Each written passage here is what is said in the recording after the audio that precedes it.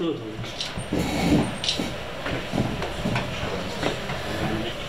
Teşekkür. Hadi. Sen beni ararsın bir gün. Hibrit'ten ararsın sen. Kıymetli basın mensuplarımız ve misafirlerimiz 2022 yılında bildiğiniz üzere Kızılay Derneği Afyonkarahisar Şubesi olarak 19 Mart'ta şube genel kurulumuzu gerçekleştirdik.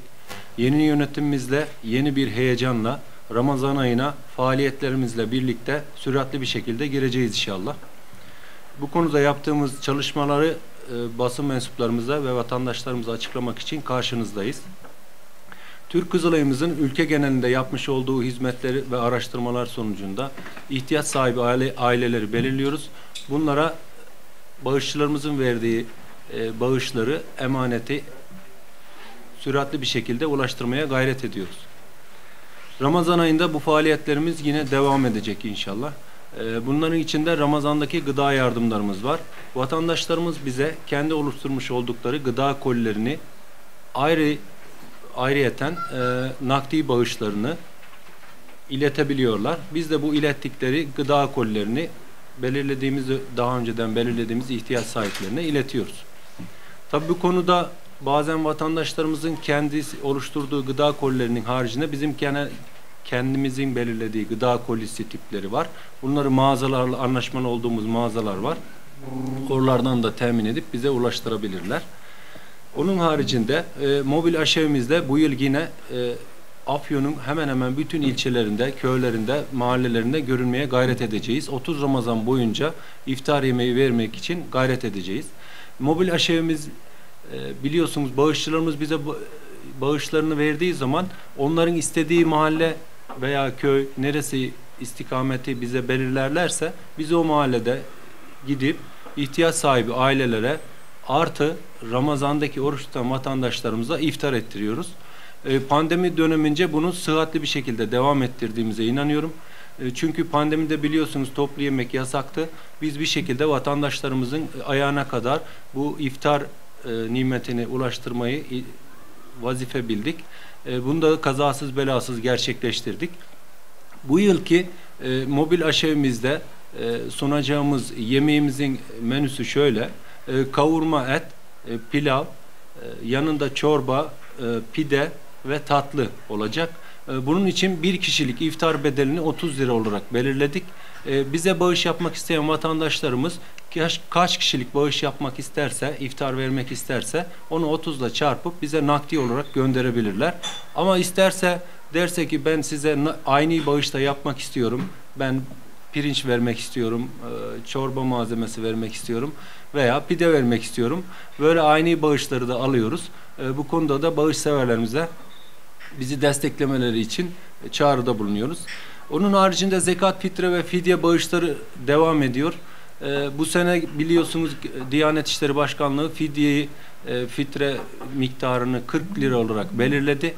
Biz e, zekatla ilgili vatandaşlarımızın zekatlarını Ramazan bayramından önce en son gün Ramazan bayramından önceki Arife günü tamamen hepsine ulaştırıyoruz. Bize emanet edilen zekatlar tamamen gününde vatandaşımızın eline ulaştırılır.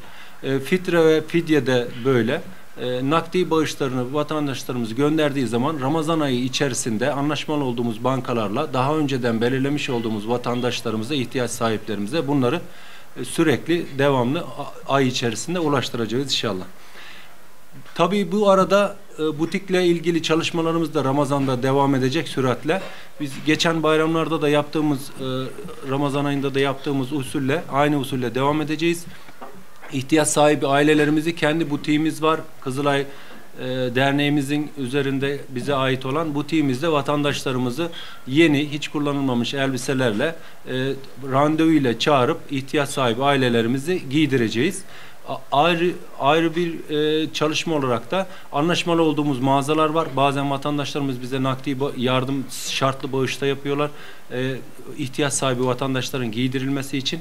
E, bunun için de onları e, anlaşmalı olduğumuz mağazalara götürüp e, bizzat orada kendimizde başında bulunarak giydirmeye devam edeceğiz inşallah. Bunun haricinde e, tabii Bayramlar deyince aklımıza hep çocuklar geliyor. Biz göreve geldikten sonra e, çocuklarla ilgili hassasiyetimizi artırdık. E, bilhassa öksüz ve yetim çocuklar üzerinde duruyoruz. E, onun haricindeki diğer çocuklarla da ilgileniyoruz ama özellikle öksüz ve yetim çocuklarımız üzerinde bir hassasiyetimiz var. Bunlarla ilgili gençlik kolları çalışmalarını devam ettiriyor. Bizim belirlediğimiz ihtiyaç sahibi ailelerdeki öksüz ve yetim çocuklar için özellikle onların doğum günlerini tespit ettik. Yıl içinde Peyder Bey her gün hemen hemen her gün 3 güne bir 5 güne bir hangi gün denk gelirse o çocuğumuzun doğum gününü özel yerlerde kafelerde kendimiz e, bağışçılarımızın da destekleriyle e, doğum günü kutlamalarını yapıyoruz. Bunların bazılarına Kerem Kınık Başkanımız denk geldi, Sayın Valimiz denk geldi, kendi şehrimizin büyükleri de denk geliyor.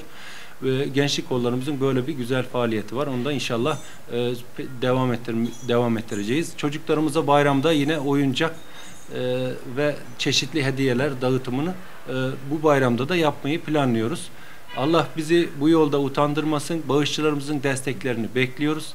E, biz de Afyonkarahisar'a oradaki ihtiyaç sahiplerine hizmet yoluna Kızılay Derneği olarak elimizden gelen gayretleri göstereceğiz inşallah.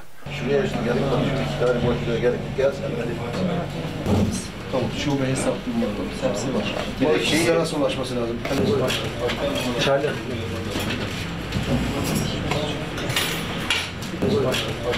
Çaylar.